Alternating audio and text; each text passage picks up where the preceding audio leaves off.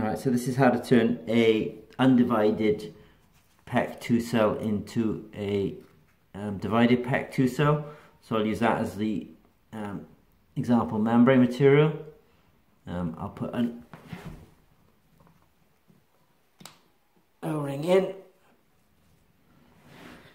Then I will um, assume that we'll put some electrolyte in.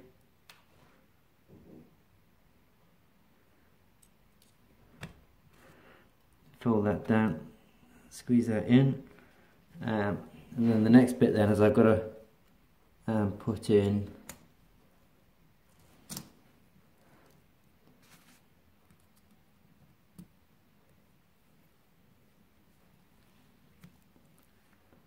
So I'll screw all these down. So I'll just pause the video while I get on with doing about eight or so of these. Alright. So I've screwed all these down. So I've um, put the membrane in, put the electrolyte in one side of the cell, put the counter back on, put the window back on and then tighten this up and sealed it all down. Alright, so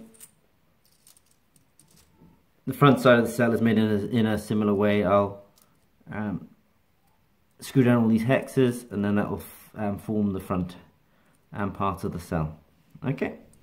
Okay, so now I've made a divided cell by putting the um, membrane between the um, working electrode and the counter electrode.